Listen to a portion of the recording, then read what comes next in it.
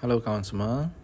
Dekat sini saya mau tunjuk satu jenis yang sesuai pakai dekat kolam pancing punya pellet. Ini nombor 6363. Ini satu pack sekilo ah.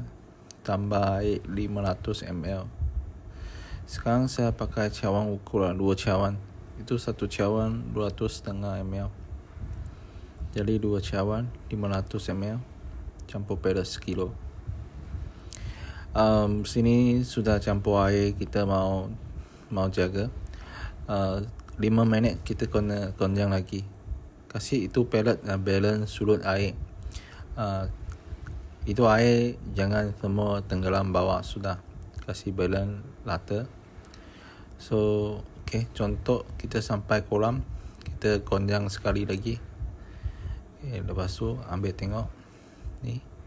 Ini sudah boleh cocok dekat mata kain okay, ini 6363 sesuai sebab satu point dia tahan heat satu point dia boleh masuk mata kain. Boleh cangkut tak senang pecah. Sekarang saya mata ni saya pakai mata saiz 7 lah. Uh, you tengok. Okay yang saya pakai ultra rice pink lah. sebab ikan sini tak besar sangat tak payah kepal besar sampai mana. So dekat sini kita boleh tengok ini tak campur pelisa lah so saya tunjukkan kosong punya umpan.